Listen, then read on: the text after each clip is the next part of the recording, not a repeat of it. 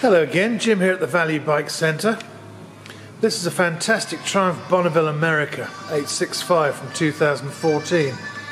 It's only done 7,301 miles and we have the full service history. It's very well equipped for cruising, nice big screen, crash bars, forward controls with footboards, semi-rigid luggage, nice comfy seat with a backrest and a back rack.